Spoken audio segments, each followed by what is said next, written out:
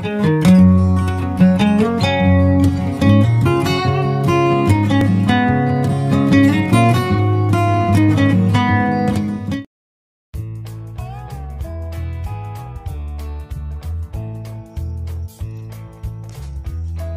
po ulit. Mga kabukid. Ayan. Medyo pahinga po muna tayo sa pagtabas. Kasi magdiniyog po muna kami. Mag-iipon muna ako ng niyog. Ito. Ito na naman ang aking armas. Yan. Yan ang armas ko. Para mag ipon ng niyog. Yan po. Yan. Yan po ang dala ko para pang-ipon ng mga nyog. Mhm. Ito ang aming tapasan. Yan. Sobrang luma na. Bata pa ako, tapasan na ito. Hanggang ngayon, tapasan ko pa rin. Yan. Dito po ako nagtatapos ng niyog. Ipunin ko lang yung aming mga niyog na kinuha.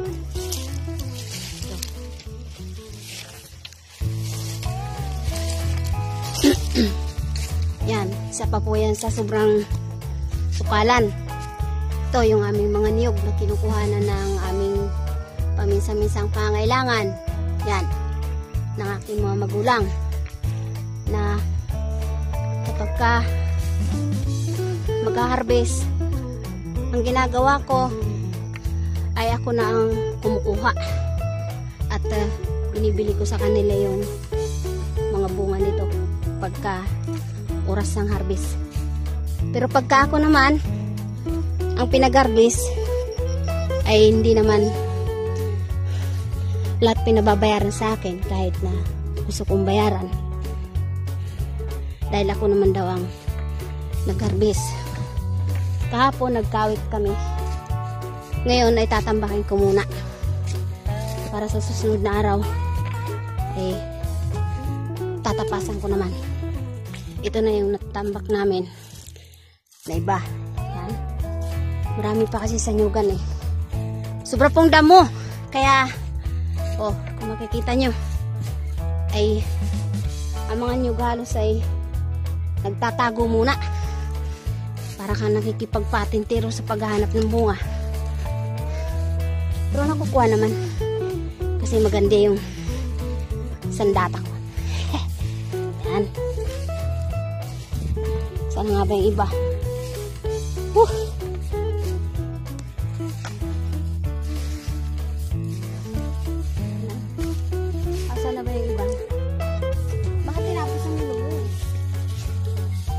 Sa baba na yun. Doon na. Tapos na dyan.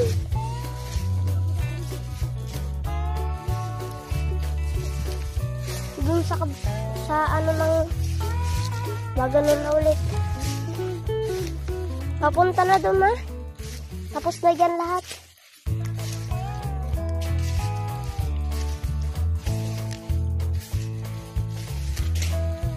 lemonade.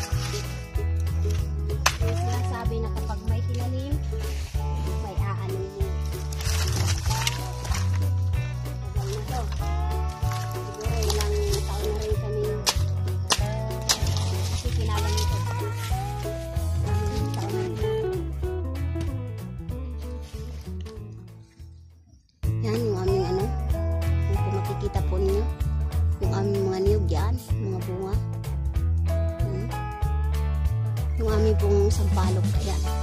Talaga namang daming nagkapang na damo. Hanggang na po yan sa dulo ng kanyang mga sanga. Ay halos kinain na ng mga damo yan. Yan. Gustong gusto po yan ng aking tatay na malinisan pero hindi naman kaya ng kanyang katawan. katawan. Kaya ako na po ang gagawa ng paraan para yan ay malinisan. Dahil sa totoo lang, gustong gusto ko pong makita ito na malinis. Yung walang ganitong klaseng mga damo na talaga namang halos ay hindi mo na mahanap nyug. Yung pagka nagkakawit, gawa po niyan. Ay, maalala ko nga lamang po pala. Kagaya po na sinabi ko sa inyo pag kayo ay nandini sa bukid. Ang salitang pag may tinanim ay may aanihin. Pero dito po, pamisa-misan maiisip mo rin na hindi lahat ng panahon, hindi lahat ng oras ay hindi ko mo nagtanim ka, may aanihin. Mayroon din pong panahon na hindi mo kailangan magtanim, mayroon ka pong aanihin. Kagaya po nito. Yan. Yan pong dahon niyan, yan po ay tinatawag na ubi. Ubi po yan. Yan. Yan ay eh, kusang mga tumutubo lamang dito sa aming nyugan. Yan. Pag panahon po niyan ay eh, yan, napakadami po oh. Napakadaming ubi. Ngayon ko lamang po ito nakita dito. Yan. Tapos minsan, kapag gumala pa ako dito, sinuot ko pa tong gubat na gubatang nyuga namin na ito. Ay eh, may mga pinya kami ditong mga tanim dati ng mga bata pa kami. Bisa makikita mo eh ano na, kalahati na lang pag hinog na kasi kinain na ng mga ibon. Eh dahil sa hindi naman po napapansin na mayroon pa palang mga pinya. Yan, kagaya niyan ang daming ube. Yan. Kaya minsan umuwi ako ng bahay, may mga bitbit akong pinya. Kahit ano lang na crop na galing sa bukid namin yan. Talagang hindi nawawala ng makakain dito. Yung mga niyog namin ay nangangaligaw dahil sa damo. Natatakpan ng mga damo hindi na gaano nakikita. Okay. Okay po mga kabukid, hanggang dito na lang po. Hanggang po sa susunod na araw at ipapakita ko po sa inyo ang bahaging ito na isang araw ay malinis na ito.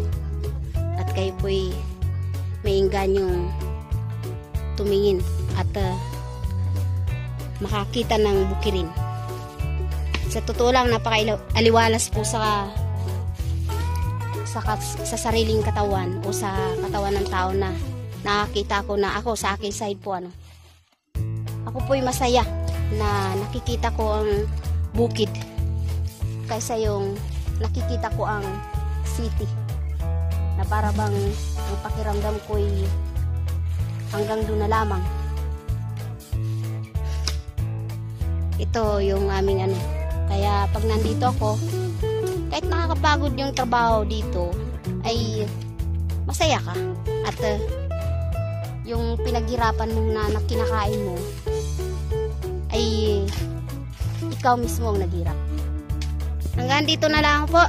Hanggang po sa susunod na mga araw. Ito po ang inyong kabukid.